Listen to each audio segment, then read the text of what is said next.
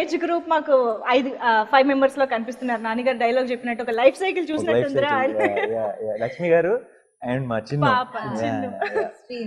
Yeah so మీ characterisation speciality ఏంటి? ఇప్పుడు ఐదుగురులో ఒక్కొక్కళ్ళది ఒక్కొక్క క్యారెక్టరైజేషన్ లా ఉంటుందా? లేదా అందరూ ఒక సింక్లో ఉంటారా? ఎలా ఉంటుంది అసలు గ్యాంగ్ గ్యాంగ్ గురించి క్యారెక్టరైజేషన్ కంటే వ్యక్తులే వాళ్ళు వచ్చిన సిచ్యువేషన్స్ వాళ్ళు వాళ్ళకున్న పరిస్థితులు దానివల్లే ఒక చాలా ఒక డిఫైన్ క్యారెక్టర్ ఆటోమేటిక్ క్రియేట్ అయిపోతుంది. స్పెషల్ క్యారెక్టరైజేషన్ కంటే కూడా.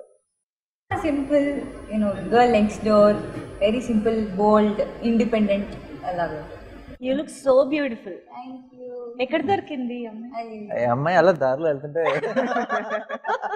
నాకు ఐడియా లేదు. సడన్గా నాకు? విక్రమ్ ఒక రోజు ఫోటోలు పంపించి మన హీరోయిన్ అన్నాడు మా- మా- మన ప్రియా అన్నాడు. సూపర్ పర్ఫెక్ట్ అనుకున్నాం.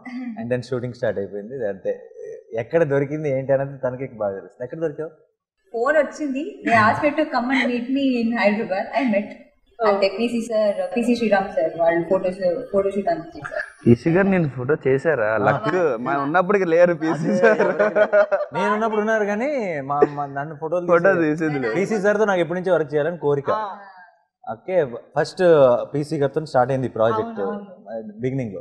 PC sir separate photo shoot చేసి ఈ అమ్మాయి చాలా మంచి and first compliment PC sir దగ్గర నుంచే. ట్వీట్ చేశారు. ట్వీట్ చేసే మంచి మంచి పెద్ద హీరోయిన్ అవుతుంది తప్పకుండా ఇదని చెప్పారు.